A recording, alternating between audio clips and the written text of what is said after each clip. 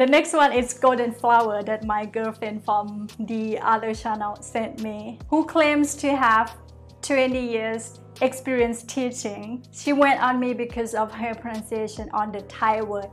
Temperature was corrected. Not my fan.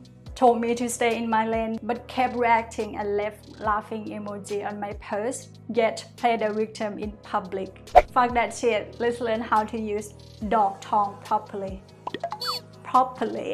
The literal translation is golden flower. Dog tongue, it's referred to a woman as being promiscuous. If it's being used amongst close friends, it just means bitch. What are you up to, bitch?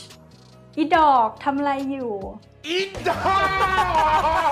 อยากเจอดจมูกอะอีดอก กว่าจะได้มานะ หน้ากูแทบแหกอย่างยอ อีดอกนี่ร้ายกาจอาชญากรข้ามชาติมาก Or sometimes we say อีดอก head. Yeah, mushroom. I don't know why, but we do.